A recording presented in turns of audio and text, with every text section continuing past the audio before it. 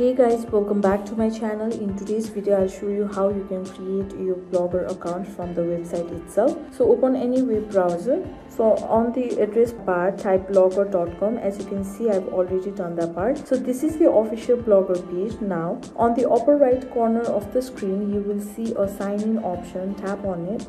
So to create a blogger account you need to be signed in to one of your gmail address type any gmail address.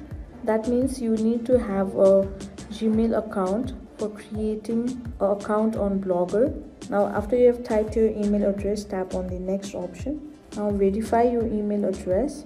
So once you logged in from your email address now in this page you can choose a name for your blog and this title will be displayed at the top of your blog. So if you want to create a title type it here. Then afterwards tap on the next option. You also need to choose a url for your blog. So this is the web address of how people will find your blog online. So create an address as well.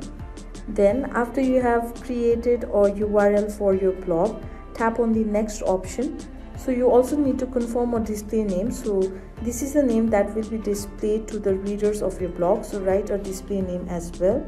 Then tap on the finish option. So that's how you have created a account for your blogs in the blogger.com so this much for today. I hope this video was helpful for you. If you like the video please give it a thumbs up and don't forget to subscribe. And i will see you soon